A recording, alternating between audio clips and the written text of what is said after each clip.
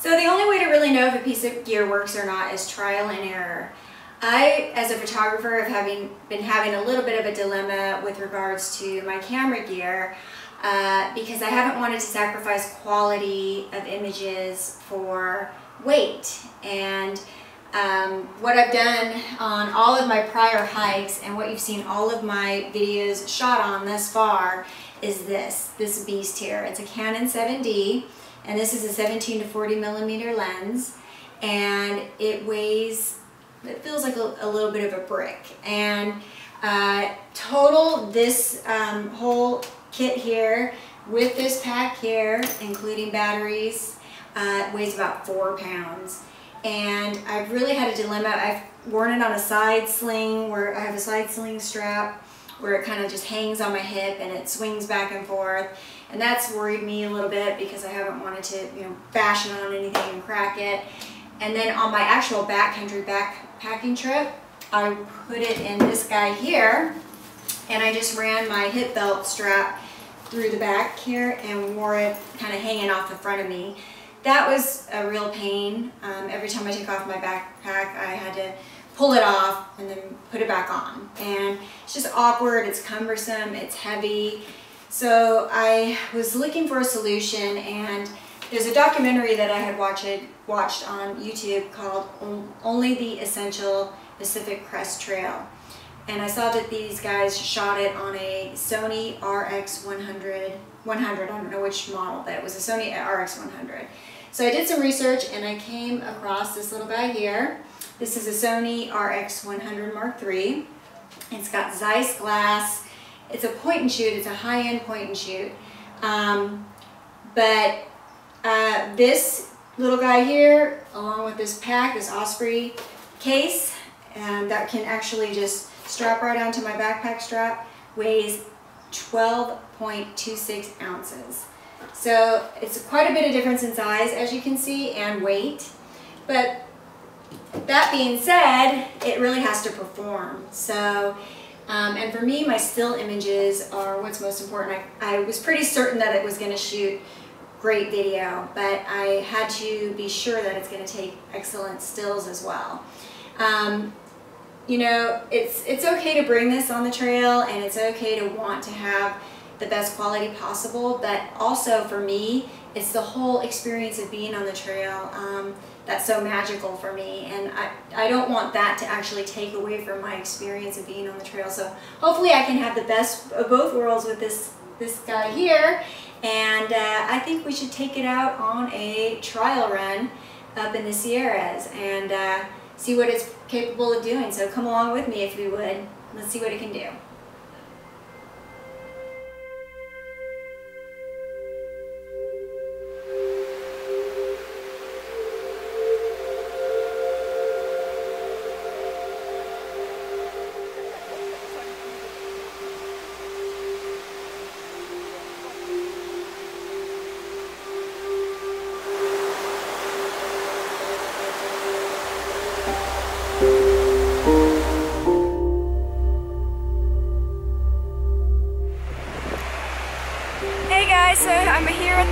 the Mount Whitney portal and I just wanted to give this little baby uh, this Sony RX 100 Mark III a test run this weekend.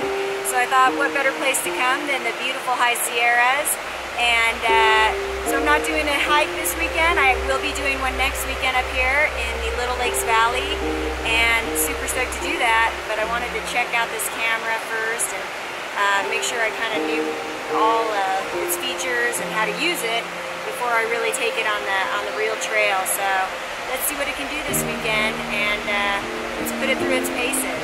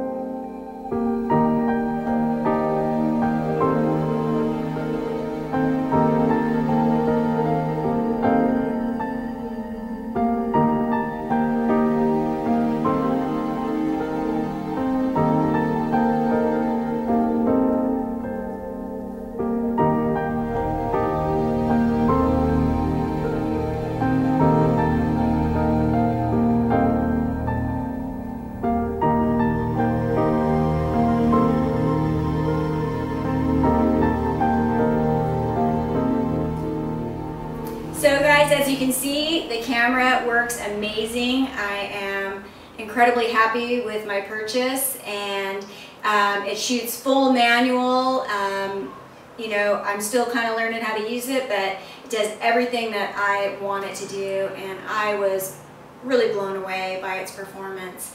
And uh, so my my dilemma is no longer a dilemma. I am so excited to get this light little guy on the trail and uh, actually I can shoot this way as well which I've been using my phone to do those shots because as you can see that thing it's just you can't turn it around. So anyway keep watching. I'm going on a hike in the Little Lakes Valley in the Sierras next week and I will have a video all shot on this thing here. And um, keep following uh, please subscribe and we'll keep uh, adding new uh, beautiful videos for you. Thanks guys